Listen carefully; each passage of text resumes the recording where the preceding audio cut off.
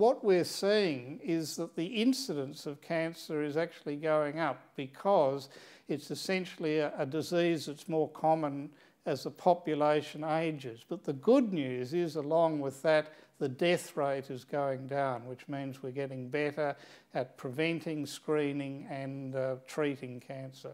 30% of cancer deaths could be eliminated by lifestyle choices alone, and that would make an enormous impact on cancer in Australia.